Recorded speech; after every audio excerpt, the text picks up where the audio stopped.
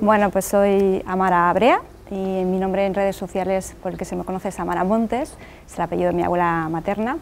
y es una mujer que teje, que, familiarmente además le han enseñado a tejer desde hace muchos, muchos, muchas generaciones